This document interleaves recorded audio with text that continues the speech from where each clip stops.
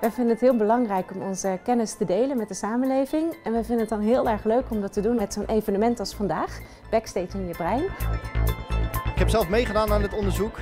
Dus uh, ik vond het wel leuk om even te komen kijken van uh, wat er nou is uitgekomen. Twee jaar geleden had ik wel het gevoel dat ik uh, al een beetje puber begon te worden. Dat je vindt dat jij gelijk hebt en je ouders niet. Ook al hebben ze meestal wel gelijk. En ja. Nee, ik weet niet hoe mijn brein werkt.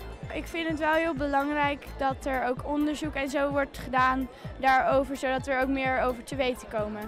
Mijn kleinste dochter die wil neuroloog worden. En logisch uh, dat dit ook eigenlijk een hele leuke activiteit is, waarbij ze ook kan zien uh, hoe het eigenlijk neurologie in elkaar zit.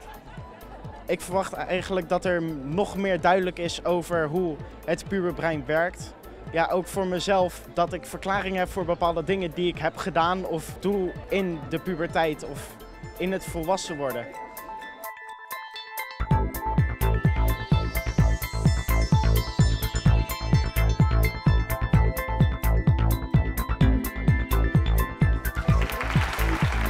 Ik heb een lespakket gekregen, een lespakket voor het onderwijs wat vanaf vandaag uh, voor iedereen beschikbaar is. Waarin leraren in staat worden gesteld om een onderwijs anders te kunnen inrichten. Meer gericht op een breinvriendelijke klas. Hoe denken ze, hoe ontwikkelen ze zich, maar ook hoe richt je een bepaalde werkvorm in. Hoe kun je de talenten van leerlingen meer centraal stellen? Nou, dat is een uitdaging voor de school, voor, voor leraren, natuurlijk ook voor leerlingen zelf.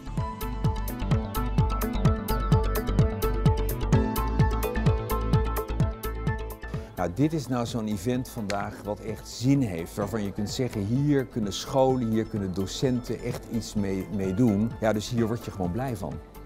4, 3, 2, 1.